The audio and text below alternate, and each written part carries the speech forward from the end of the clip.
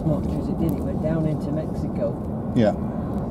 I could. I was watching the storms coming up, and I was watching the lightning, and I was watching it starting to fizzle out as it was coming north. You you saw some lightning. A lightning on the uh, on my radar. Oh right, okay, yeah, yeah. Yeah, well, as we know, that sort of thing happens. It's a shame, but Uh, It is a shame the cold front was. Uh, I don't think they anticipated it to come come through.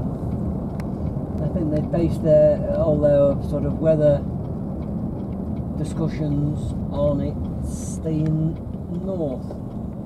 mm, But it was funny because you see when the temperature we got up to a dizzy height of 77, but as we near got nearer to town, we got down to 74 again. yeah.